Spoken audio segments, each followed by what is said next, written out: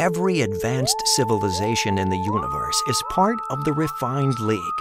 All of them are obnoxiously advanced, peaceful, and well, refined. Refined aliens can cross galaxies in an instant. Their artwork, architecture, and decoupage are so brilliant that human minds can barely process their beauty.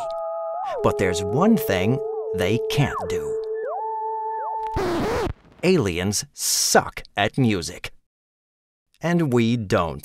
In fact, we make the universe's best music by far, and everyone knows it but us.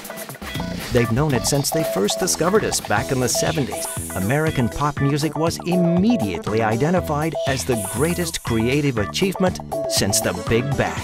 The entire universe has done nothing but ecstatically contemplate our music ever since.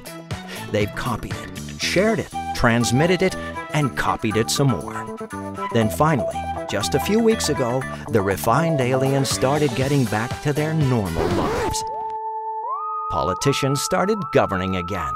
Accountants started accounting again. Most significantly, alien anthropologists began studying other aspects of human society. And that's when it hit them. They owe us an ungodly amount of money. You see, America has the universe's harshest copyright laws, and the aliens have been pirating our music for decades. It was completely unintentional, but the universe is bankrupt all the same. Everything in it and all of its wealth belongs to humanity, and everyone knows it but us.